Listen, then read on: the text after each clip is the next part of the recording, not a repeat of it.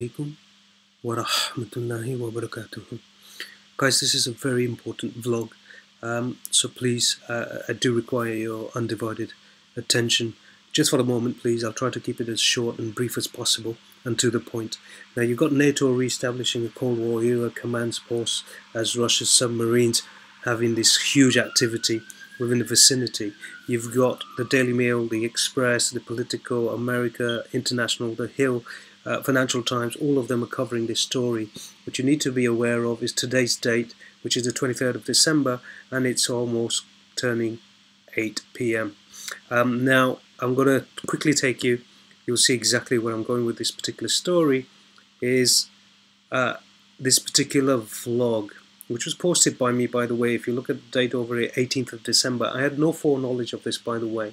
But then you'll come to appreciate now how I see these certain patterns and then certain occult speak um, uh, doctrines and their their language and uh, the ability to decipher uh, these kind of allegories and um, um, symbolism that they have in place to communicate with each other.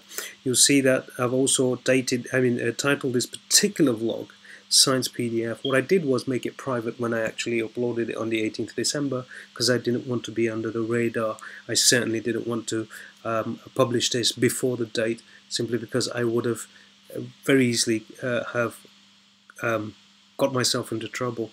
Uh, you'll come to learn exactly why in a second. Now what you see is on a vlog that was posted by me on the 18th of December, I draw your attention to December and I say, let those of you with discernment understand why the 21st, the 22nd, and the 23rd. Understand that today's the 23rd, and those articles about the Russian submarines have just been published today, and they're talking about its activity. Now, if you bear with me for a moment, you'll see the next slide that I put on it is the Russian Akula submarine, and warfare. I did that deliberately because I wanted to draw your attention to this. Right? Why the 21st, 22nd, and 23rd? And I posted this on the 18th. So I had a reasonable amount of foreknowledge, at least understanding of what was coming next and what they're staging the Shayateen in, in St. John. Now you'll see the image depicting America, specifically New York, but the States and the connection between the Russian submarines and then the States. And you'll see exactly where I'm going with this now in a moment. Right, now please remember the dates by the way, because that particular article was published today. Right, now what we've got, I want you to guys to bear with me here. Now this is occult symbolism uh, uh, uh, at its highest. You've got Obama wearing a square, which basically means he's graduated now in terms of Freemasonry right? You understand I've mentioned the phallic symbol quite often, and that's exactly what the penis represents uh, is the phallic symbol, and again, so do rockets. So please understand that. There's many other things that represent the same thing, but we won't discuss that for the moment. Also, two X's represent Freemasonry, by the way, guys. Hangman, again, is alluding towards trouble. Now, I want you to remember the shark. Okay, I'm not going to mince anything over here or any of my words. I want you to remember the shark, right? And then I want you to remember the drops of semen. And over here, Obama pointing towards right his lips with his finger. And then you'll also see right this part of the states being highlighted in this particular map. So we're talking New York on that side hence why I actually put that image on right? Now if you follow this train of thought just keep everything with you for the moment now, remember uh, Obama right now with his finger towards his lip? You've got the god Horus over here. Horus is the son, in Egyptian mythology, is the son of uh, Isis and um, Osiris, right? And it represents the Antichrist, Ad-Dajjal, Lanatullahi right? The sun god, the sun god Ra. And we've discussed how uh, Masonry gleans its religious beliefs from, from uh, uh, ancient Egyptian doctrines as well as Babylonian doctrines, right? Now, you see that finger? That's exactly what Obama was doing, right? Which is a graduation. This is, they're ushering in that age, which is round about, I'm going to say seven years, in which they're going to create a lot of trials and tribulations in terms of war and everything else. And this is almost ushering in that. So I think something's big's around the corner and it's going to happen. We discussed the Winter War. Well, this is it. And this is the speak, the code speak that they speak about. And I keep on mentioning and trying to draw the attention of our beloved ulama ikram too. Now you see what I'm going with this in a moment. You saw also Obama wearing a, a graduation cap, which is a square over here, right? That square. Let me take you to masonry. Okay, the square and the circle shapes. So what they believe in masonry is when you circle the square, you've become a 33rd degree mason, right? Squaring the circle, however, does not, in this case, refer to mathematical problems. It's a spiritual reference to man's instinctive quest to harmonize our physical and spiritual natures, right? Said to be the primary goal of the Masonic craft, right? Their primary goal is to square the circle. That's why they say the gentleman's a square guy. This is exactly what they mean by that. He's not a rough ashlar anymore, he's graduated. And this is exactly what the cap on top of Obama's head represents here. Now let's go back to the sperm now. This is important. Please follow me on this. Right? If you see, remember the phallic symbol represents a rocket. You've got a rocket, but also you've got a two-in-one. You've got a double-edged sword here.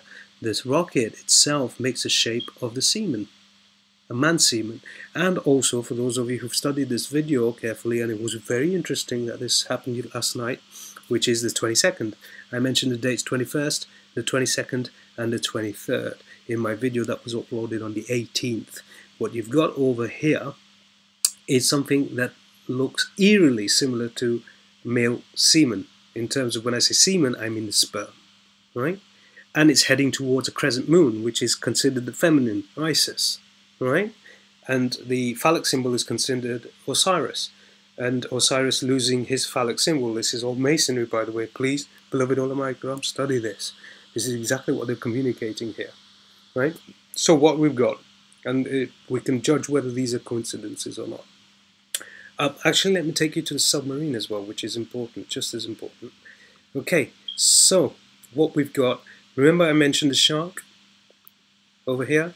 And I said this shark represents a submarine. Well, you'll ask, well, how did I come to that conclusion? And I also, on the 18th of December, put a slide of a, the Russian submarine, the Akula.